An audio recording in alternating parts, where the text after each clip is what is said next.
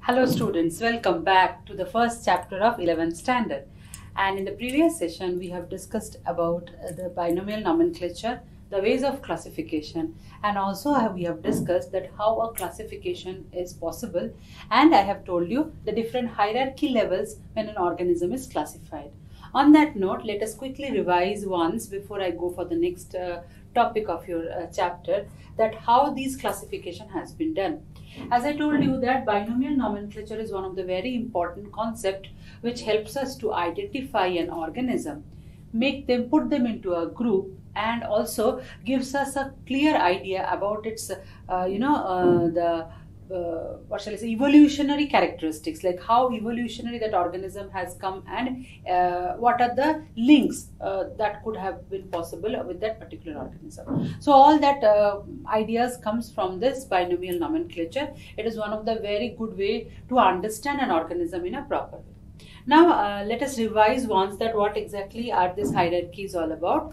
As organism, each, each individual organism is considered as a species. So what we consider them, we consider them as species. So the first category of organism which which is which comes over here is the species over here.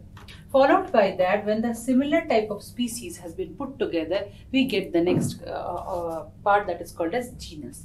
Similar genuses comes together to form the family and the similar families makes the order. When similar orders combines together they make the class. And when we talk about similar classes together they make the phylum or the division. And this phylum and division ultimately makes the kingdom. Okay. So this is the order of a hierarchy. If you take an example of a rose plant over here uh, i have taken the example of rose plant whose species is indica. Its genus is rosa the family of rose is Rosaceae. The order is Rosales. It belongs to the class Dicotyledonous and it is a angiosperm belongs to the plant kingdom. So this will give us a complete idea that how a particular plant or a particular organism in that matter is put into a particular group and how they are classified. So here what will be the scientific name of rose plant then? It will be Rosa indica okay? The scientific name of rose will become rosa indica. Let me write this indica properly. Okay? Okay let it go. So what is the scientific name? The rosa being the genus name and indica being the species name. When we write a scientific name i hope remember that genus name should start with a capital letter and the species name should start with a small letter. So the species name will be indica i n d i c a indica okay and this will be separately underlined. So that is the name of rose plant and this is its classification system. So this is about all about our classification and the taxonomy and all the hierarchical level when we talk about any particular organism. Let us see next now that how an organism starts with their uh, like if i if we wanted to uh, take an example of some of the organisms and explain about its uh, classification then how can we talk about it okay so this one we have done it. Let me see the next one. Organisms with some of their complete category. If I put take some organisms and put them into a complete category one, what exactly I'm going to talk about it.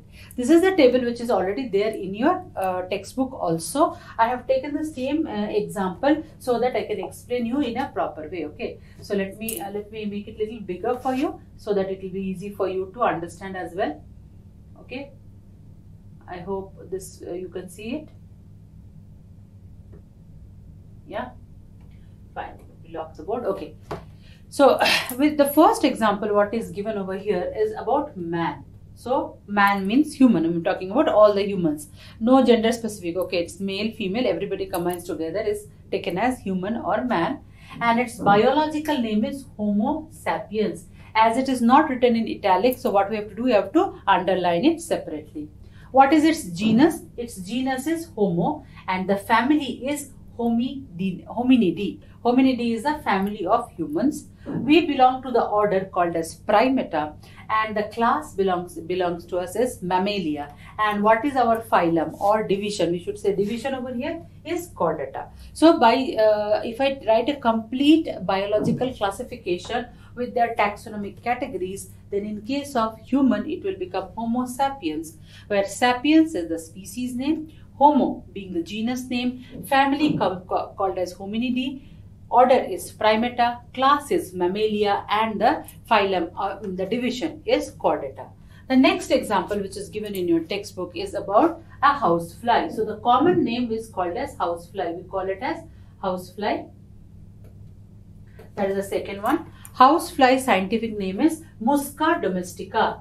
So the species name over here for the housefly is domestica. So what is the biological name? It is Musca domestica. The genus is Musca. The family is Muscidae. Family is Muscidae. The order is Diptera. And the class belongs, below, uh, the housefly belongs to the class Insecta. That means insects. And it belongs to the division Arthropoda. The division is Arthropoda. And if I talk about the kingdom, which I have not mentioned over here, kingdom will be obviously for both of these will be Animalia. So for these both, what I can write, they are Animalia because they are animals. Okay. So they belongs to the kingdom Animalia. Okay. Next, we have taken two examples of the plants. The first plant over here is mango. That is number three in our table. The scientific name of mango is Mangifera indica. The scientific name of mango is Mangifera indica. So, indica being the species name. And what is the genus name? Genus name is Mangifera.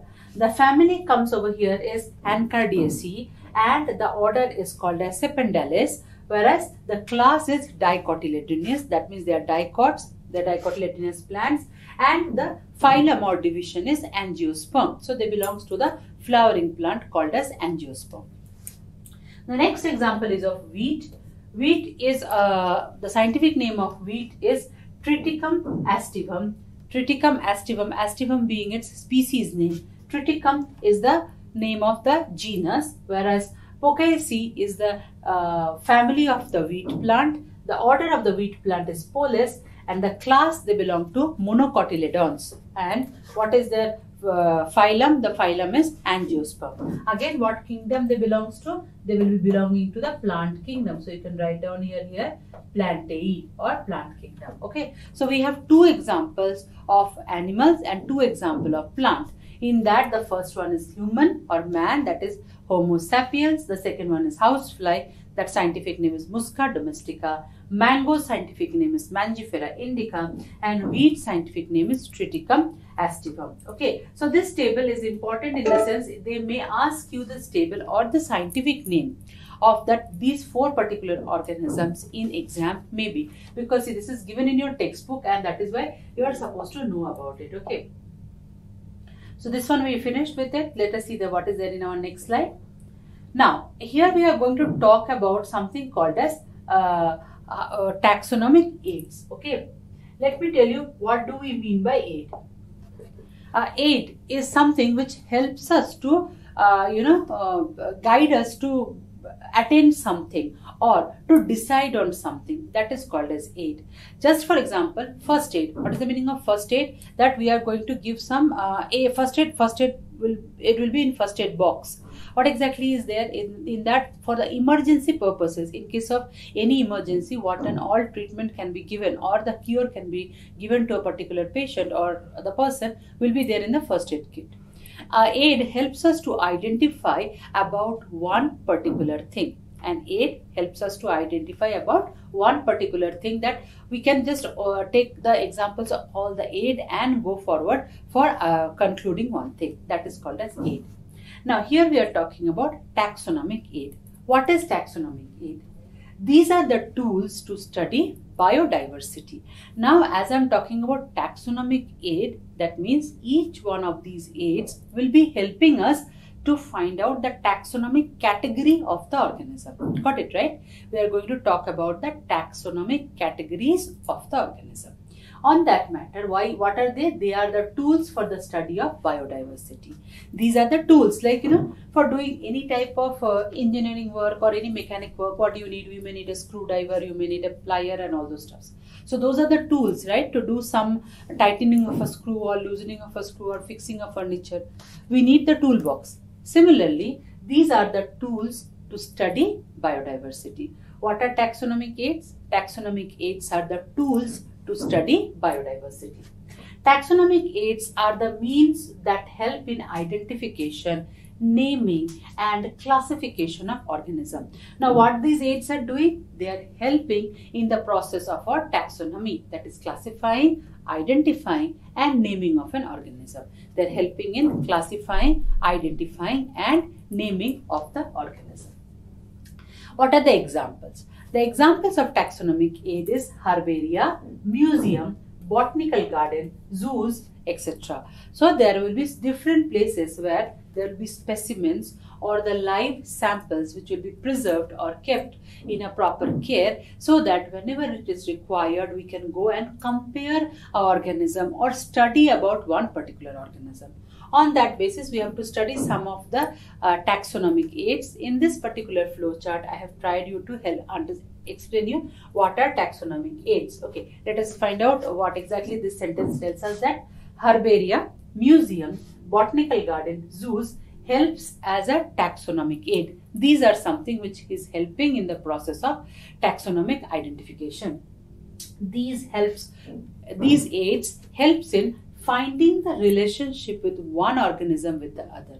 What are these aids doing? They are helping to find out a relationship with one organism with the other. That is what is the benefit of taxonomic aid.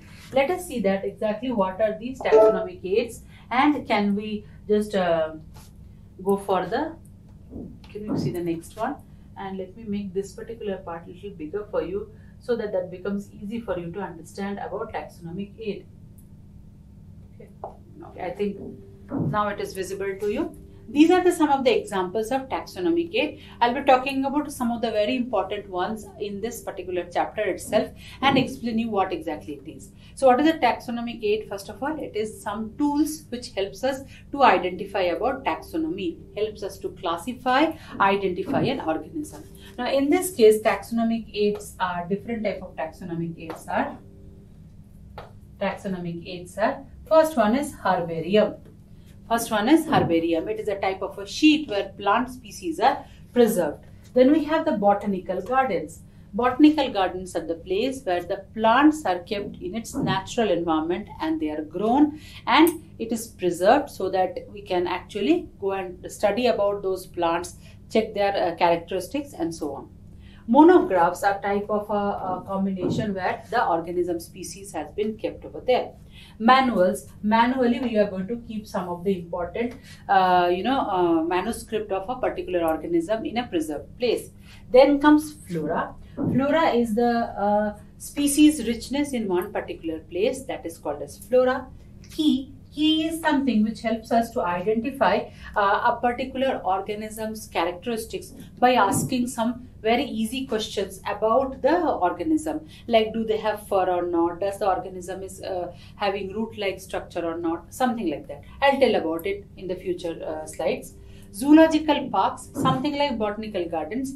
In zoological parks the animals are preserved. In zoological parks animals are preserved in a natural environment. I should not say preserved. I I may say that like they are kept in a natural environment where they can actually be helping in the uh, uh, they will be helped to grow properly they reproduce properly and those organisms will be taken care so that is the zoological part what is a museum? Museum is a place where the organisms are stored or basically the fossils, the specimen of the species, uh, some uh, discoveries of some persons, all these are preserved very properly so that for study purposes we can go and visit in the museum and collect the required information.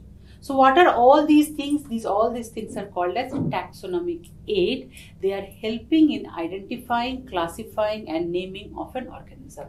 Those are herbarium, botanical garden, monographs, manuals, flora, key, zoological park and museum okay we'll talk about some of them over here in this particular chapter itself okay so what are these these are the taxonomic aids now what are their advantages what are the advantages of these taxonomic aids? The taxonomic aids helps us to uh, correct